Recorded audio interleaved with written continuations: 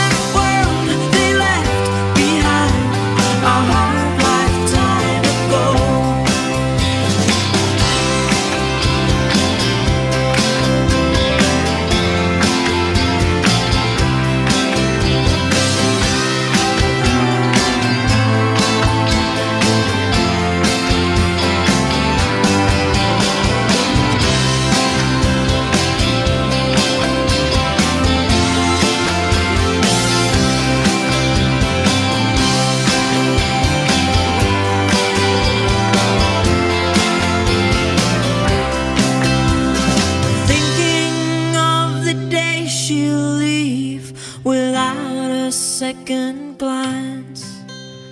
Imagining the ghost behind her as the wind